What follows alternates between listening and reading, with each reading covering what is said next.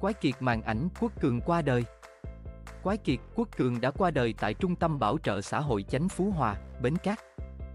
Bình Dương, hồi năm 2022 nhưng tin tức về ông chỉ được xác nhận gần đây khiến nhiều khán giả bất ngờ.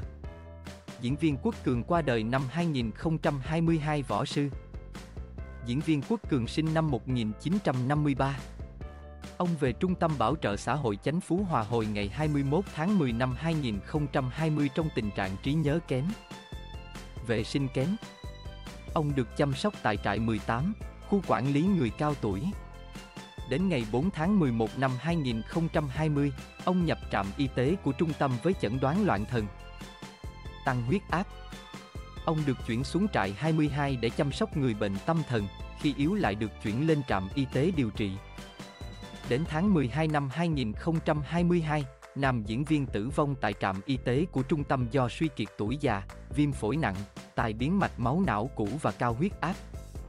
Ông được hỏa táng và lưu cốt tại nhà lưu cốt của trung tâm theo quy định. Trong quá trình sống tại trung tâm bảo trợ xã hội Chánh Phú Hòa, diễn viên Quốc Cường có một người tự xưng là em kết nghĩa lên thăm một lần. Tuy nhiên sau khi ông mất, phía trung tâm gọi điện báo tin thì không liên lạc được.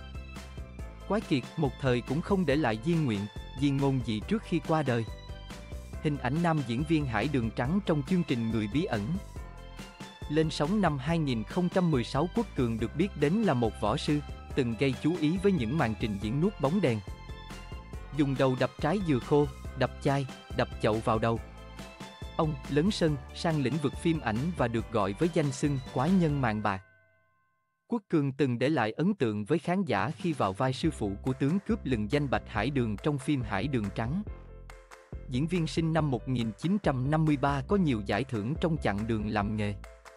Tháng 10 năm 2005, ông nhận giải kỷ lục vàng từ ban tổ chức chương trình Những chuyện lạ Việt Nam, tìm kiếm những kỷ lục Guinness Việt Nam do VTV3 chủ trì với nội dung màn trình diễn ấn tượng nhất. Vietbo cũng đã xác lập kỷ lục cho vị võ sư này với tư cách là người có nhiều pha biểu diễn lạ lùng nhất Việt Nam. Vào năm 2016, nghệ sĩ Quốc Cường từng gây chú ý khi xuất hiện trong chương trình Người Bí Ẩn. Thời điểm đó, nam võ sư vẫn còn sức khỏe. Tự tin thể hiện màn chọc dừa bằng ngón tay. Đến tháng 10 năm 2020, nam võ sư sống lang thang không nhà cửa, sức khỏe cũng không mấy ổn định khiến nhiều người xót xa.